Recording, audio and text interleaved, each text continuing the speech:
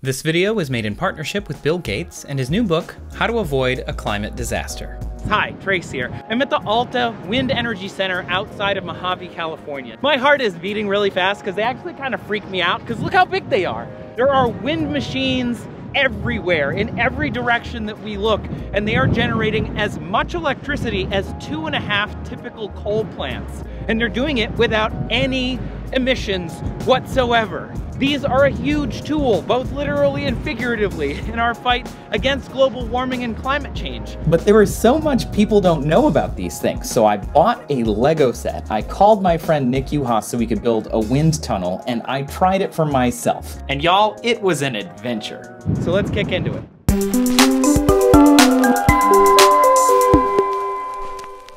Okay, welcome back. Like my brother Inigo Montoya said, we have to go back to the beginning. I love Lego. If you follow my social media, you already know this. A while back, I thought it'd be really cool if we built a Lego windmill set and tried to generate electricity with it. Whoa, it's generating like wind.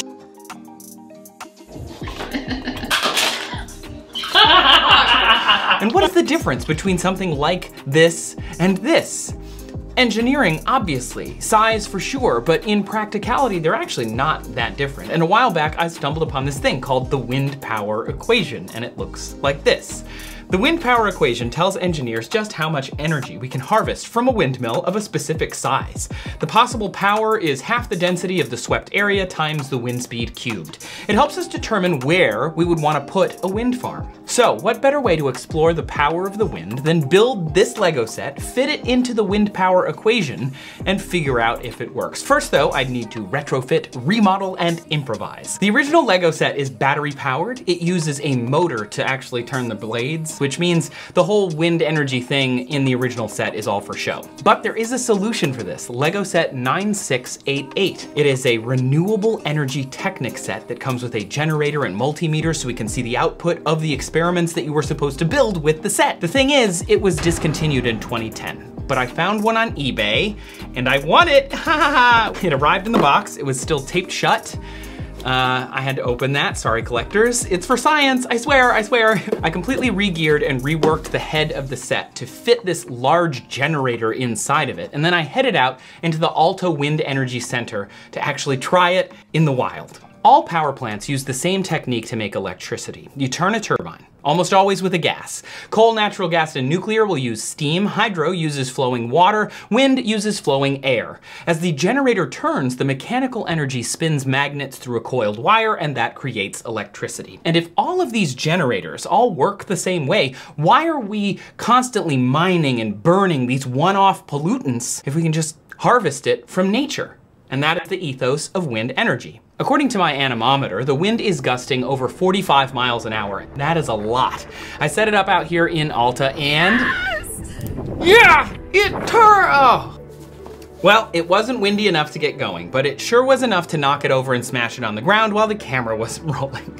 So I think our little Lego can do better. We just need a more controlled lab scenario. Perhaps the gusts were too much for it, and also on top of that, I think the blades might be poorly designed for this. As they say in late 20th century cinema, if you want something done right, do it yourself. So I'm gonna pick up... if you want something done right, do it yourself. Hey Nick. What's up, Trace? I uh, have a question for you. It's a little weird. I have got a Lego windmill, and I would like to test it, but I don't have a wind tunnel. Do you happen to have a wind tunnel? I do not happen to have one, but I do know how to build one, kind of, in my garage, I think. But I feel like with our brains together, we can do it. Awesome. I will rebuild the Lego set and I will be over to your house ASAP. Yeah, perfect, dude. All right, cool, see you then. So for version two of our windmill, I made a more robust base to the upright. I don't want it smashing again after we build the wind tunnel. In the wild, these giant machines are made of huge tubes of steel with fiberglass blades that are light and strong. And inside the windmills are these gearboxes, drive shafts, wind monitors, and other electronics to make sure that the thing is running efficiently, but also safely. The Lego one doesn't have any of that, and in fact, the generator is directly connected to the blades, so I definitely want it to not smash. Also in the wild, these things are super powerful. If you visit the US wind turbine database, you can see every single windmill in the United States. The one that I was standing in front of at the beginning of the video is a Vestas V93MW. That means it generates three megawatts. And when I was standing in front of it with 45 mile an hour gusts, it was likely generating near peak power. That's assuming 40% efficiency. Of course, it might be more than that. We haven't actually talked about efficiency yet, but that is the clincher in this whole power equation. In 1919, German physicist Albert Betz calculated the max efficiency of a windmill, it's called Betz's limit or Betz's law, at 59%. So put simply, the most perfect windmill in the world would still only harvest 59% of the energy of the wind passing through its blades. And most wind would actually go around, under, or over. That is how we know, by the way, that turbines don't slow down the wind. That is a myth busted right there. As trillions of kilograms of mass shift around plains, mountains, oceans, and forests, we feel that movement as wind. Thinking that it slows down the wind is sort of like thinking that a rocket taking off is slowing down the Earth. Sure, yeah, it is, but so imperceptibly relative to the Earth's mass that it's basically nothing. But back to efficiency. Some wind farms peak at 45% efficient. If you add that into the wind power equation, engineers can use wind data to estimate how much power an area can generate, or how efficient a single plastic model might be. So that's when I headed to Nick's workshop to try and generate some actual electricity. So I met up with my friend Nick Uhas, who builds all sorts of stuff for his YouTube channel. I figured maybe he can help me out. I sure can, Trey. So we're gonna build a wind tunnel today, and I thought that we would use this setup with these tables since we already have this kind of like perfect little base. It's perfect. It's almost even the right height, which is great. And then we're gonna use this material right here. This is just regular insulation. Uh-oh. And I figured we're gonna make this box basically on another side. So two feet, two feet, two feet. We're gonna put box fans over here. And we're Yep. gonna stack them. Uh, and we're gonna push as much wind as we can through our wind tunnel. We're gonna get something. We're gonna Yeah. get something out of this. Yeah. Let's do it! Okay. First step, getting the material. Oh, right, yeah. I'm a blacksmith and an Eagle Scout, so I definitely am handy, but Nick knows what he's doing. Nick is super familiar with building things like fire tornadoes and cool science stuff, so I'm tapping into his expertise for this. Basically, we're trying to get a constant wind speed so we can learn the efficiency of this windmill and nail down some blade design. A wind tunnel is literally what it sounds like. It's a tunnel of wind. So once we set up all the fans, we set up the anemometer to figure out how fast it was going, and we thought, we can do better than that. So after a quick rearranging of the fans, Is this your uh, fire tornado system? we were ready for attempt number one. And yet, just like in Mojave, nothing happened. We're getting two and a half to three meters per second of wind speed, which is like almost seven miles an hour. Not a lot, but it should be enough to get something to happen. The renewable energy kit comes with these little scooped blade things, and that's what you're supposed to build their windmill for their experiment with. So let's try those. Boom. So now we should be able to catch a little bit more wind. We think.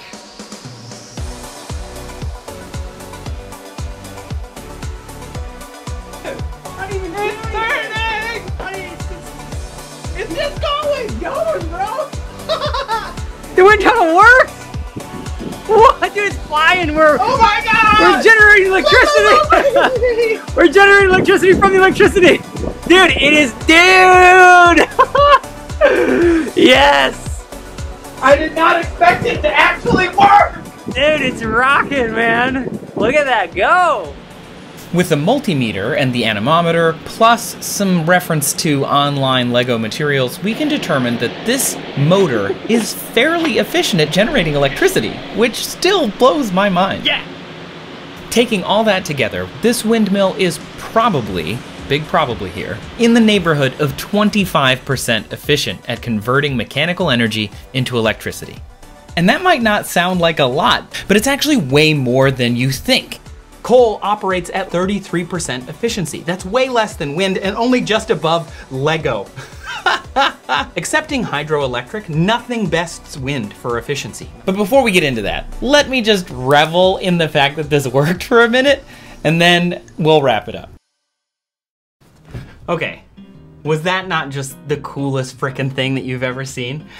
The most important thing that we can learn from playing with wind power is this energy is just out there. It's out there all the time. If we humans can efficiently harvest some of that constantly renewing system driven by the sun warming our atmosphere, we would be one step closer to a totally renewable society. Any light that you're turning on would just be powered by the by the sun, honestly. We're just capturing it in different ways. I I still just cannot believe that this thing worked. Thanks to these little teeny scoops here. Well, now it's off balance, but either way, that is crazy.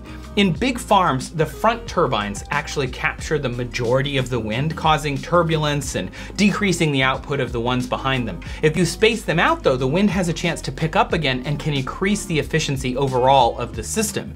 You can see this in your own life if you've ever stood next to the wind coming off the ocean or a flat plain near the mountains. Yet another nail in the coffin of wind power slows down the wind. Wind picks up speed if left without a break in the landscape. It naturally does this because there's just so much mass above us, pushing things down and moving things around with the energy of the sun. I can't say it enough. This balance of where to put them is of course being studied. More research is needed to know how far apart or close together to do that. But speaking of research, let's talk a bit about climate change. It's happening. The science is settled, y'all. It's serious, and we need a cross-disciplinary plan to solve our climate crisis.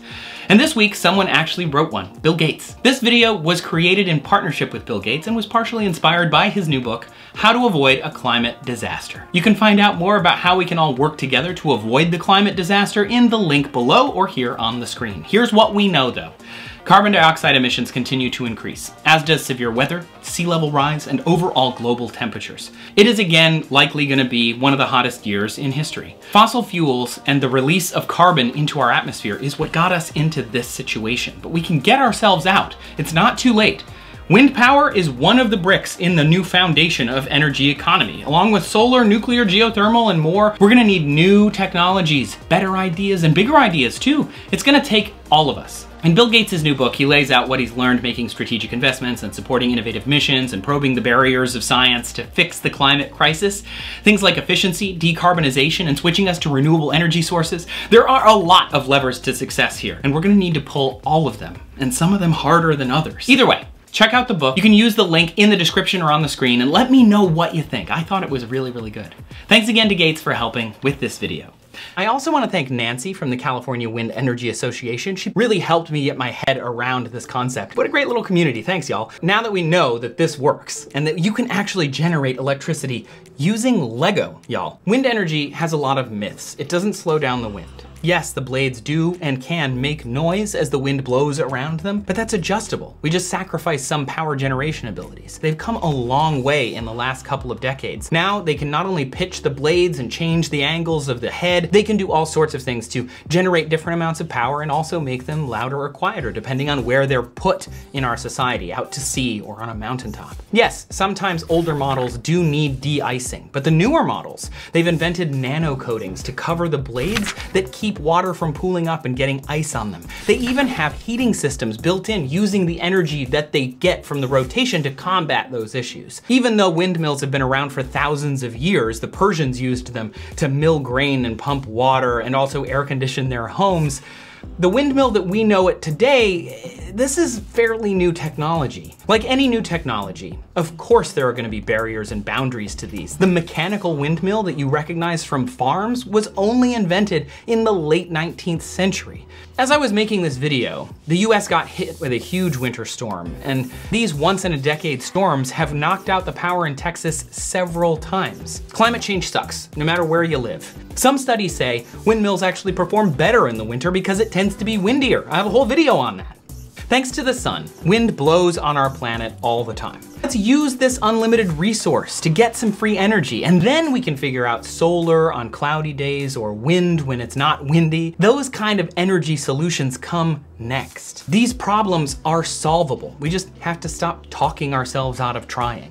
Finally, I'd like to thank you for watching this video and for subscribing if you saw my video on Tom Scott's channel about poppy seed bagels. Y'all, I, I cried when that video came out because your tweets and your comments and your likes and shares were incredible. I've been making stuff for a long time and the success of that video made me feel just so validated, so thank you. I'm Trace.